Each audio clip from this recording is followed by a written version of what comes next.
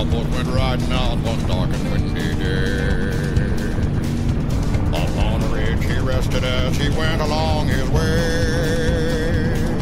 When all at once a mighty herd of red-eyed cows he saw a plowing through the ragged sky and up the cloudy draw. Yippee-yi-yo, yippee-yi-yo.